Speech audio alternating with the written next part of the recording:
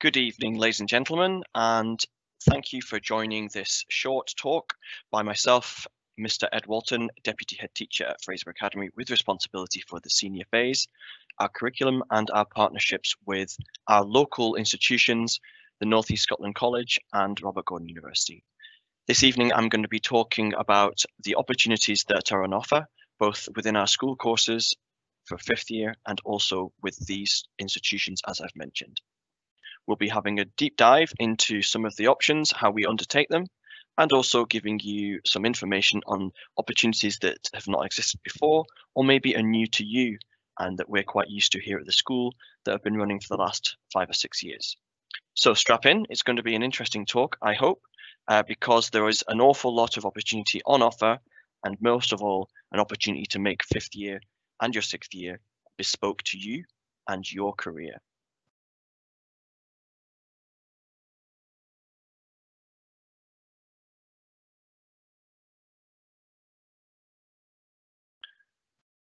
So, some news about the senior phase. What's coming up? Well, to help explain what fifth year looks like, it's important that I remind you of where we've come from. And at Fraserburgh Academy, our third year was 50% personalised to all learners, with the other 50% selected by myself to balance literacy, numeracy, health and well-being across different subject areas. Fourth year, the year you're currently in, we handed a little bit more responsibility over to you, where you could choose four of your in-school choices, and also you had the mandatory English and maths. Two thirds of the fourth year students have also this year opted to do a college course on the Monday and Wednesday afternoon or on the Friday, which we thoroughly encourage and support.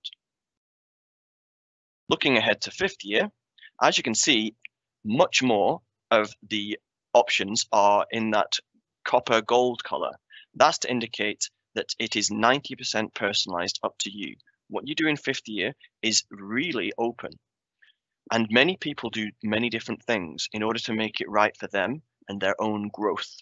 Because everybody is needing now to start making choices about where their skills, their strengths, their knowledge needs to go for their careers, but also to develop themselves so that they're ready for their positive future. So that's how fifth year looks. We have this hmm. mandated wider studies time and the PSE time. That's the only part that is mandatory. Everything else is up to you about what you do. And even in that mandatory time of wider studies, that is the time of the week that at the moment, if you're doing a college course in fourth year, that's the college time. So many people choose to do college again with a different course or maybe to progress it further. If you're not doing a college course, then I will be asking you to do something else to widen your studies, such as volunteering, work placements, and so on. I'll come to that in a short while. Just to look ahead, for a couple of years' time, if you do choose to do your sixth year at Fraserburgh Academy, um, then it will look very similar. But it, rather than wider studies, we call that leadership time because a lot of the sixth years take up leadership positions in the school and they spend that time to do things like house meetings, making their house boards, planning events, and so on. So that is the balance of time. The question is, how are you going to ensure that you're going to have as much growth as you can through your senior phase curriculum? Well, at Fraserburgh Academy, we have a wealth of ways in which you can grow through your senior phase. So let's have a quick look into those. As you can see, I've got eight different categories here that give you a clue about the different ways that you can grow. First and foremost, and the one that you're most familiar with, is the idea of school courses. Well, at Fraserburgh in fifth year, you've got two different types of school course. You've got exam type courses that are there to secure your university progression, and they're things like your National Fives, your Highers. But you've also got non-exam courses, so they're ongoing assessment, which are at levels five and six. So that means they're the same level as National Fives and higher, but the, the big difference is that they're often project driven and they are assessed as you go through the course. So that means you don't have all that pressure at the end to go and sit in the hall on your own um, or perform on your own uh, in one-off a, a one-off day performance. So a lot of our faculties now, you will see later, have got a, uh, an offer a course that is a non-examined course at the end, which is an ongoing assessment course. Sometimes these are known as National Progression Awards or National Certificates, uh, and they're really good because they focus on developing skills and gaining real-world experience without adding to the burden of your stress levels at the end of the year. So really do take those seriously when you're filling out your courses. And in terms of number, we expect everyone to be doing somewhere between three and six in-school courses. Next, you'll be very used to this idea. Uh, NESCOL courses, as I said before, uh, we expect at some point across the three years of senior phase, everyone to try at least one NESCOL course so that they've had that transition experience into learning into the future. So if you're choosing to do your fifth year, fifth year at school, I would be asking you a question of, is this the year you'd like to do your NESCOL course? Uh, maybe you've did it in fourth year and you'd like to do another. Maybe you're going to focus on five Highers because you want to go to medicine or vet science, in which case I'd say don't do a NESCOL course in, in fifth year, maybe do it in sixth year, okay? But if you're doing a mix of Highers and national progression awards in um, in fifth year, then it's a great opportunity to do a NESCOL course again in fourth year. Um, again, NESCOL's ongoing assessment, focusing on that real world context. And because of that fantastic oh, uh, 10 million pound building, uh, 10 minutes walk away, we, we really do encourage you to make the most of that opportunity. You've got the opportunity in fifth year to do community volunteering. For example, this year I've got a student I can picture right now who is volunteering part of his time in school to go and volunteer at the local community uh, food bank.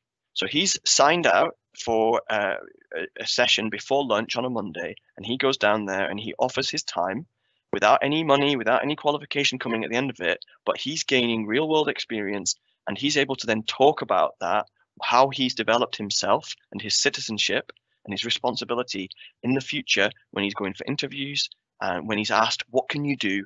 What makes you you? So that idea of community volunteering, we want to help you to do that and uh, we've got people in school and staff who can help you connect with local community volunteering opportunities. Next, we've got a very strong relationship with Robert Gordon University and every year we have a choice of 10 courses that you can do whilst you're in your fifth year or your sixth year, which would take up one afternoon a week across two terms. It's normally the first two terms of the year. Um, so it, do you have to do one of these? No, but it's a fantastic opportunity if you do want to um, and we'll talk about that in a little while. Another fantastic way of spending time in your fifth and sixth year is an ongoing work placement. So as I said before, some people have um, free periods in either the afternoon sessions or in that wider studies time, and they go and work in the primary schools and the nurseries, they go and work at different workplaces, um, and we have a full-time member of staff in school, who, our DYW coordinator, and DYW stands for Developing the Young Workforce, who can help connect you with work placements. Um, it, they are self-found. What that means is we hand you the form, you go and sign them up, but we support you to do that. Okay, so one or two afternoons a week for two terms is what we recommend, and then after that, it would be in school, focusing on your in-school courses. Another thing that um, our fifth years sign up for as part of their wider studies program is Subject Champion. Now, we tend to have somewhere between 30 to 50 subject champions in fifth year, and that means it's a subject that you have strength in, that you like, um, and you are maybe studying that year as well for your higher or your National Progression Award. And it's somewhere that you would like to offer your time, and you go and actually get signed up into that subject, and it might be a class that is a first year class or a second year class.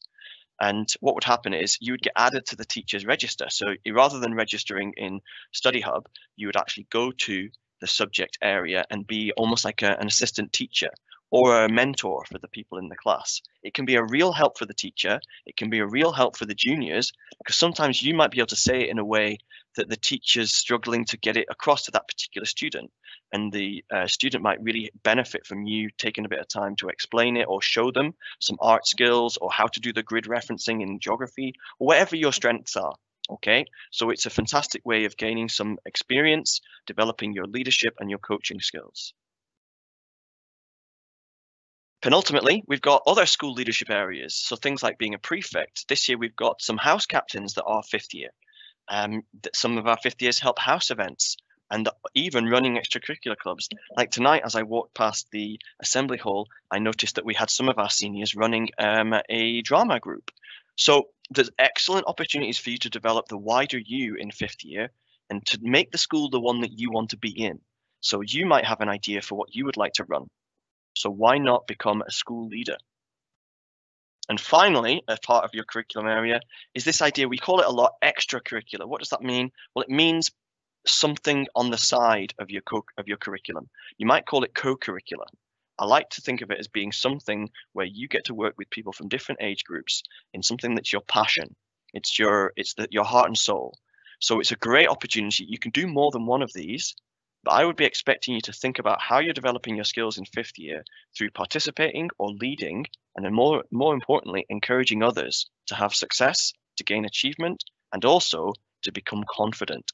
Because confidence is priceless.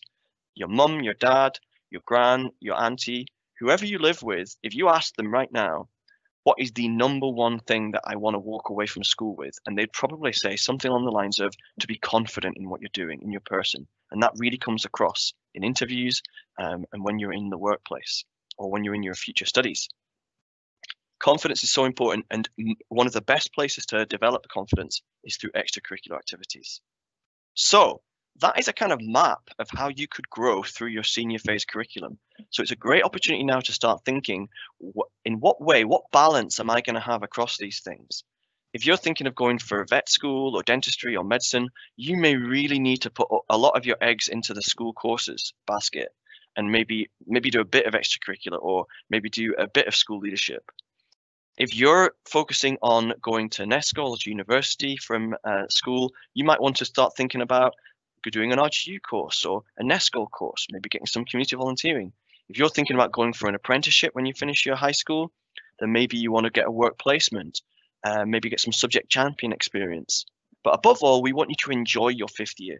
So this idea of the extracurricular, really, I keep coming back to it. It's a great way to, for you to make sure that you're having fun whilst you're at school. And that's so important to keep you motivated for going with your school courses.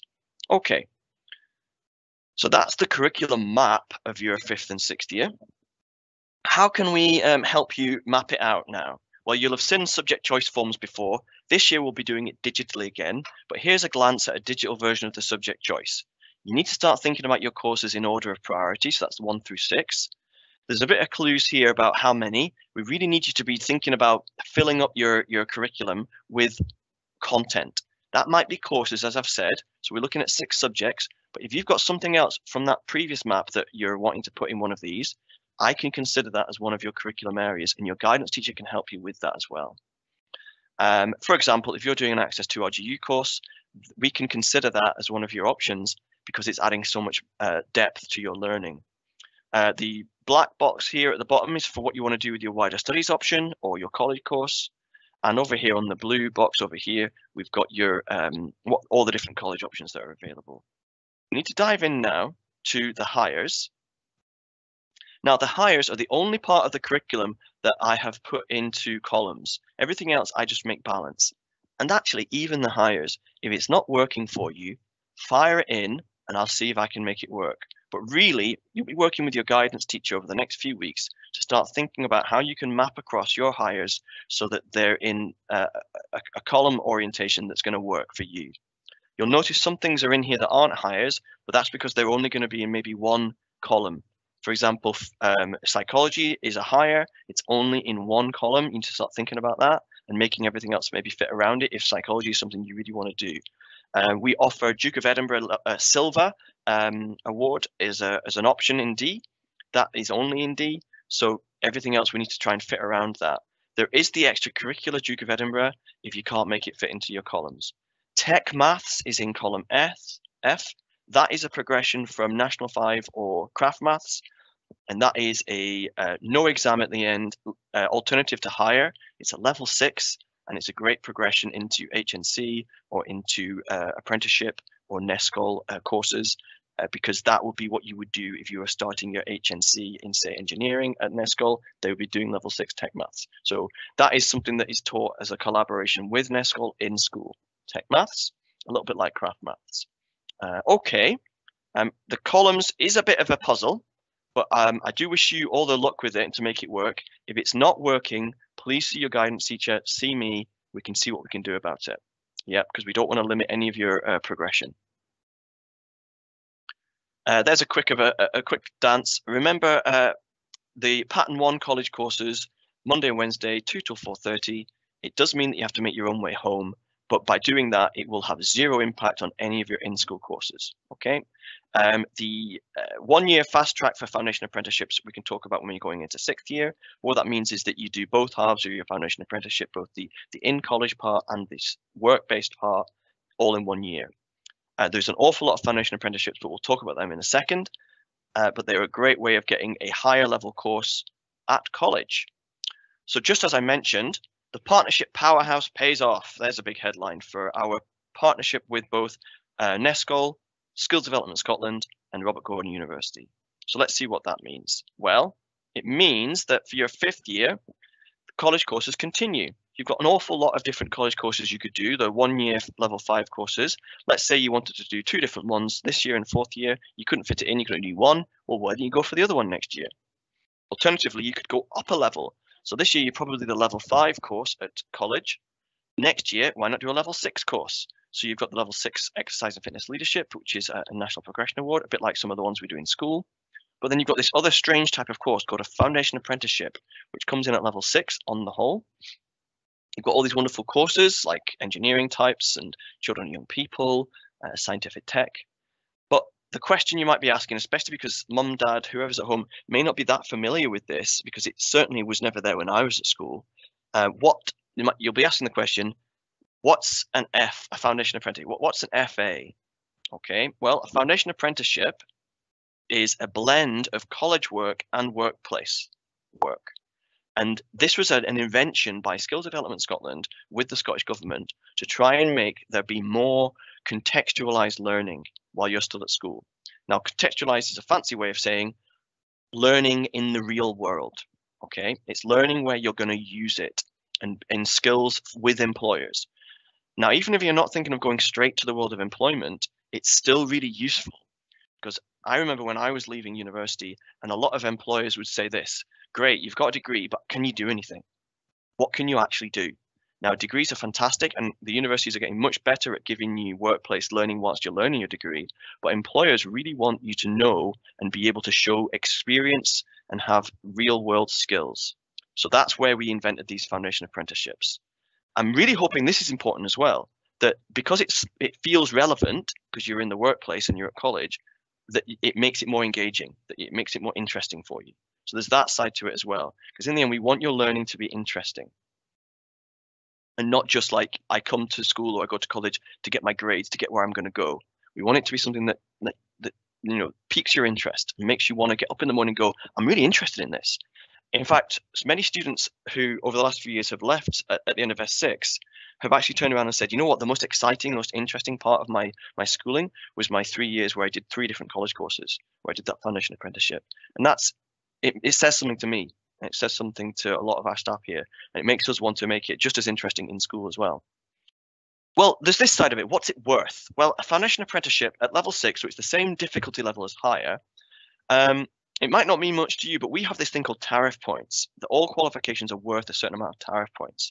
And just so that you're aware of the size of these things, uh, the average advanced higher is around 400 tariff points.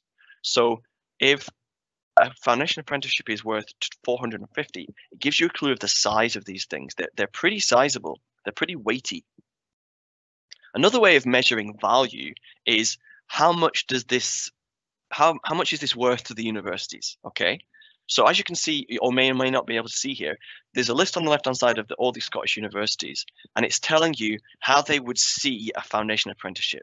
So, you know, um, Glasgow School of Art is seeing a foundation apprenticeship as one higher at an A. All right, that's pretty good. Uh, Robert Gordon University, good good partners to the school, they're saying any foundation apprenticeship they would see as a B. But then they've given this little star and then two Highers at a B. Okay.